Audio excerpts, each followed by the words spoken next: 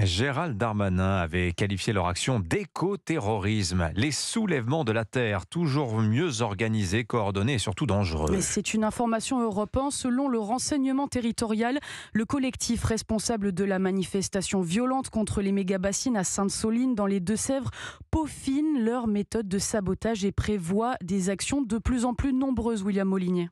Val-de-Reuil, le 10 décembre dernier, 80 activistes masqués et en combinaison blanche investissent le site du cimentier Lafarge. Mousse expansive à volonté dans les réservoirs de camions, détérioration des automates et bris de vitres, près d'un million d'euros de préjudice en moins de 10 minutes. Une action éclair que n'ont pas pu entraver les forces de l'ordre, selon les informations d'Europe 1. En à peine 4 jours, 2400 activistes radicaux ont ciblé une trentaine de sites sur l'ensemble de l'Hexagone, des opérations de sabotage à bas bruit qui démontrent une réelle capacité capacité de coordination et de préparation selon le renseignement. Les cadres des soulèvements de la Terre restent éloignés du terrain mais s'appuient sur les relais locaux et le maillage territorial, parvenant ainsi à déjouer la surveillance des forces de l'ordre.